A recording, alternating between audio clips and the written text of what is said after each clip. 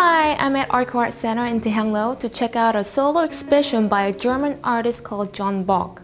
Two Handbags in a Pickle was opened last year on November 22nd and will go on till February 8, 2009. For those who are not familiar with John Bock, some say that he's Nam June Paik of Germany.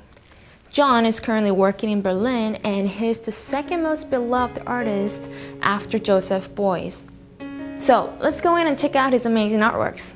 This is the entrance to the first floor exhibition and here is information about John both in Korean and English. Let's take a look at his first piece. This piece sort of looks like a submarine mixed with other objects. Oh my god, it's a real squid tied to wires. Here's the creator explaining about John's artwork.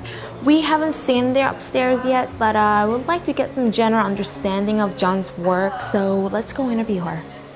이론적으로 그 접근하기보다는요, 직관적인 느낌대로 감상하시면 됩니다. Now we're upstairs and here are drawings of John's work. He sketched his art pieces when he was in Berlin and then gathered all the materials from Korea and built them when he was here for two months. This is a blueprint of his submarine artwork that's displayed downstairs.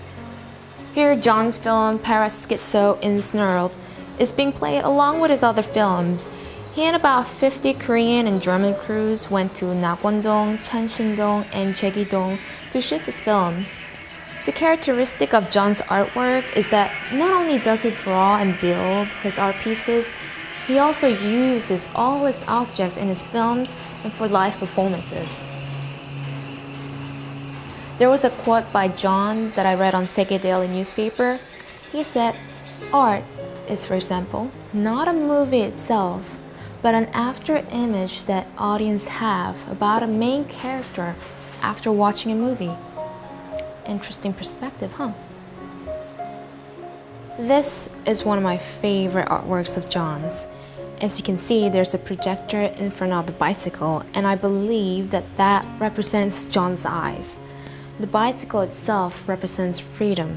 This artwork is John's way of trying to show us his view on the world. He's free to travel anywhere by riding this bicycle and by putting the projector in the front, he's simply showing us what he's looking at.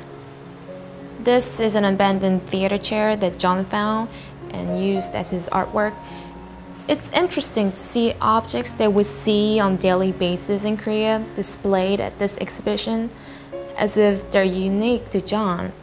We Koreans, on the other hand, take them for granted, but as soon as you see them at an exhibition by a foreign artist, you start to appreciate them and rethink about your own culture.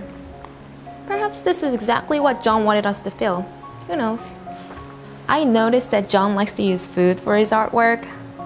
Here are some anchovies on pieces of gauze. I don't really like anchovies.